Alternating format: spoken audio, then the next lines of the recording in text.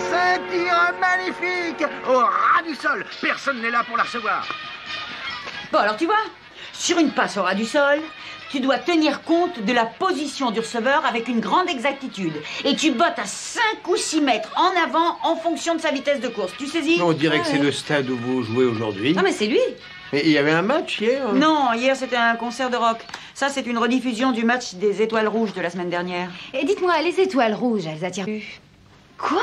Trois l'opération est fiat. Et la liste des acheteurs, vous avez pu l'obtenir Est-ce que notre mademoiselle Smith se trouve sur la liste Oh. Personne du clan dépend. Ils en prennent trois. Quant aux trois autres, ah, je m'en occupe avec Sabrina. Oh, entendu, c'est une bonne idée. Comme ça, si on finit notre moitié avant vous, eh ben, on viendra vous donner un petit coup de main. Entendu. D'accord.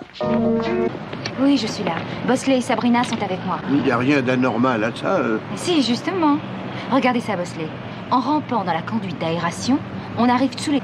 Eh bien alors ça permet d'échapper au contrôle des gardes. Et une fois ici, vous voyez, ça- eh bien vous arrivez tranquillement à la chambre forte. Et là, il y a un coffre. Qui contient la recette du concert de rock d'hier soir. C'est juste, il doit y avoir pas loin d'un million. Et la banque ne viendra pas la chercher. Et également les services de sécurité du stade. Kelly, Kelly, je crois qu'on a trop central. On y va, allez. Je passe par là. D'accord Les toujours 13 à 0.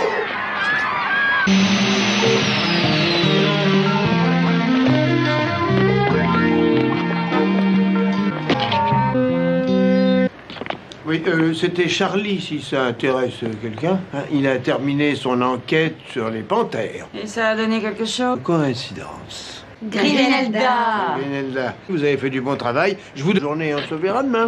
hein D'accord, alors Ouais, d'accord. Et vous avez raison, Bosley. Alors pourquoi Grinelda s'est mise avec l'équipe des... Ouais, c'est sûrement ça, ça ne peut être que ça. Oui, j'en ai au moins une. On va la prendre à son propre pied.